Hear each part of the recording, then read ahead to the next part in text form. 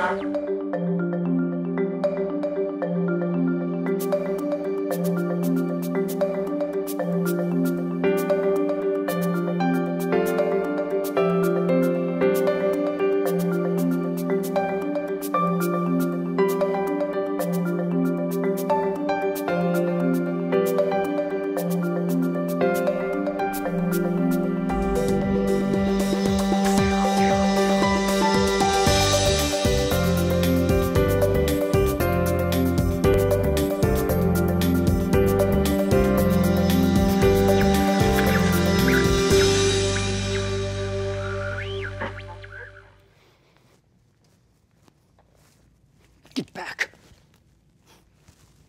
Just a monopod. Actually one of my favorite tools. Also comes in handy as a weapon if you have kind of aggressive talent. But forget I said that. You know, having the right tools is uh, super important. When you're telling a story visually, whether it's a documentary or something that's scripted or reality or whatever it may be, everything that you use, cameras, tripods, lights, everything has to be in the service of the story. So if you want the camera to be really jerky, then get yourself a really crummy tripod and you'll be just fine. But if you want to be able to not be confined by inferior equipment, to be able to do smooth moves and to be able to do nice pans and tilts and whatever it may be, then it's really worth spending the time and money to make sure that you get the right tool for the job. And I'm all about that. In my 30 plus years in this business, I have used so many different types of equipment, so many different brands and manufacturers, um, I have probably made just about every mistake you can possibly make. I've been the crash test dummy for a number of companies who give me their prototype or pre-production cameras, tripods, whatever, and see how they work, see how they do. And um, it's kind of been an interesting ride. But because of that, um, I'm kind of your consumer reports guy. You don't have to go out and do as much research as you might normally have to do because I've done a lot of it for you.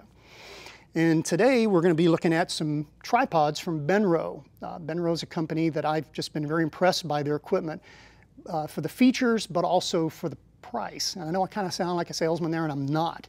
I just really like this stuff.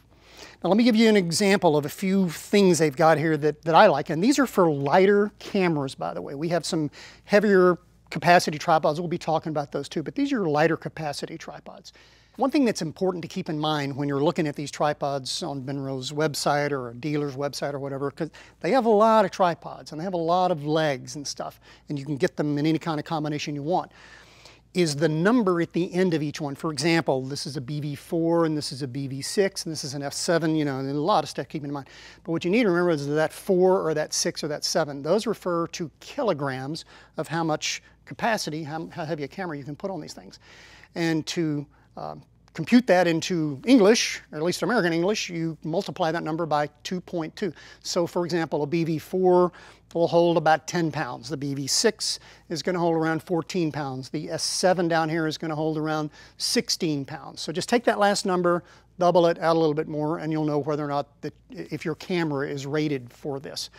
And you know, I'm sure they don't want me saying this necessarily, but I have found that almost all these tripods will hold more than what they're rated for. They may not perform in the way that you want them to, but they'll definitely hold more than that. And while we're on that note, I like a little bit heavier head than a lighter head, particularly if I'm working with small cameras you know, when you've got something really light and small, it's like a feather. And if you put it on a very, very lightweight tripod, you know, your heartbeat will affect it. You know, your breathing certainly will. So I kind of vote for getting something a little heavier and beefier than it's rated for if you're using a very lightweight camera. I think you'll find that you'll get better performance out of those. And the same goes for the monopods. Um, I really like Benro's monopods. I, I use these a lot. I use them I use these heads on cameras that are actually way too heavy for them. Um, you know, you don't want to walk around with one of these in your hand like this with your camera hanging off, especially if it's heavy, because yeah, it may go flying. But um, I have really gotten accustomed to using these to take that weight off my shoulder. And even if you're using a light camera, how often do you want to, how long do you want to hold this out in front of you all day long? With a monopod, makes a huge difference. You can do that all day. All of these tripods have a lot of really higher end features like lighted ball levels, which is pretty unusual for camera uh, for tripods in this price range. Um, all of the BV uh, tripods have stepped counterbalance, stepped tilt, and stepped drag control. That's hard to say. Try saying that five times. Which means instead of just variably adjusting the tilt or pan friction or the counterbalance to accommodate different weights of cameras, there actually is a dial that you turn and you can set it for whatever you want and it stays there. Same with the pan and um, tilt friction controls on here, which can be really handy. Some people like variable, some people like stepped, and you have choices here.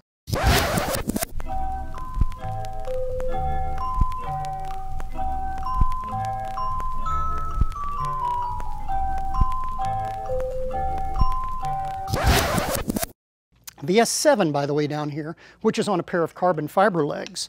Uh, these are aluminum legs. These carbon fiber legs are very high quality. In fact, Benro rolls their own carbon fiber at their factories. This is a very lightweight, very versatile, and very cost-effective tripod. So if you have a lightweight camera that you don't need anything more than about 16 pounds on it or something like that, I would consider, uh, you know, giving this, giving this a close look. Now, all of these tripod heads you can get with the two-stage aluminum legs or with carbon fiber legs. You can mix and match them uh, any way that you want. But not only that, every single one of these tripods and the monopod comes with a really nice bag. So this is, you know, really first class stuff on a coach budget.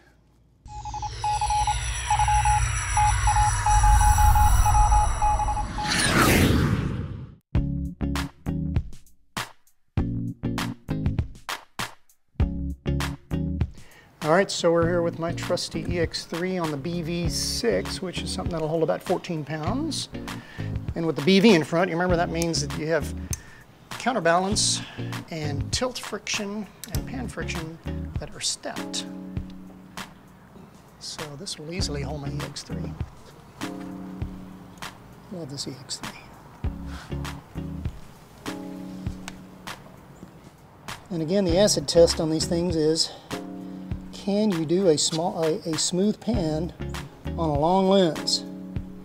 Any tripod you can zoom out all the way and do something nice.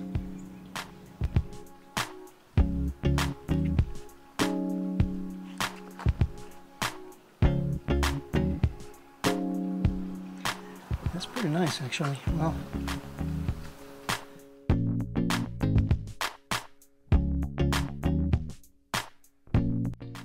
Well, I'm here with my buddy Jerry Hatton in Houston. How you doing, Jerry? Jody, good. How you doing? I'm fine. This is the wonders of technology. You don't even have to use satellite anymore to make this happen. Now, Jerry is a shooter. He's been doing this how long? Uh, long enough to know better. I said 37 years, I think now. 78, 79, probably my first paying job. Now, you and I have done a lot of the same things. In fact, we've had a chance to work together a few times. What's some of the shows you work on so folks who don't know you will know?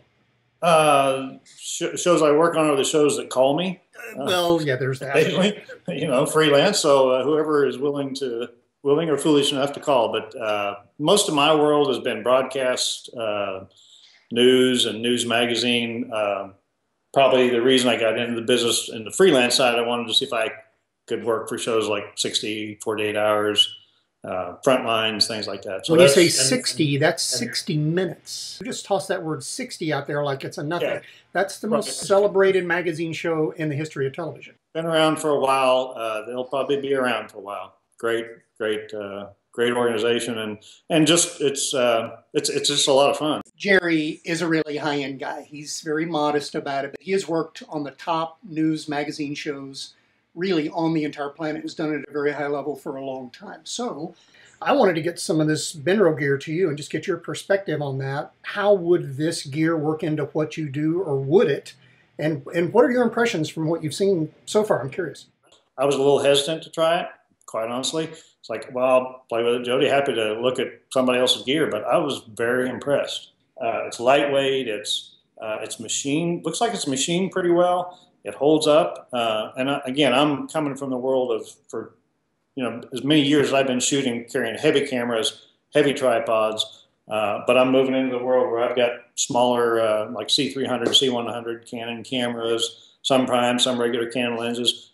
I don't have to have those unless I've got a long lens on there. I've been very impressed with it. I've, I've really enjoyed the weight reduction as well as having the quality of the gear there. I've been quite impressed with it. And I've used them on, on a 48 shoot. I've used them on a in 20/20 like a five camera shoot. It's perfect for you know five cameras in somebody's living room is is like a D-Day invasion force rolling in their front front room. So you just don't have the space sometimes for even for a big Sachtler tripod. And I've found them be really handy just to set up, put a camera on, and you can still do. I can still do nice little moves on them, and and and just you know, I'm, we're getting older. At least I am. I don't know about you, but it's uh, it's easier to. You know, I can pick one of these things up and carry it around all day, and not have to worry about another eight pounds on top of that. And it's just really easy to, if I'm just going to do shoot and move, shoot and move, grabbing shots, which again, in my world, the prices of a lot of gear have come down, but the rates haven't gone up. People, I find, come to me with a, a one day budget, but it's really a two day shoot. So I know I'm going to be shooting and moving, shooting and moving. So this kind of stuff that, that you can make it smaller, lighter, and close to just as good in my mind, and maybe it's better in some because it's newer stuff and newer technology and newer materials. What a bonus! Great deal. There's a lot of good brands out there. This stuff is is, is one of them, and they're really coming on strong. I'm, I really I appreciate you sending me the stuff and and having me have a chance to look at it because it really was like, wow, I had no idea. Know, it's it's great stuff.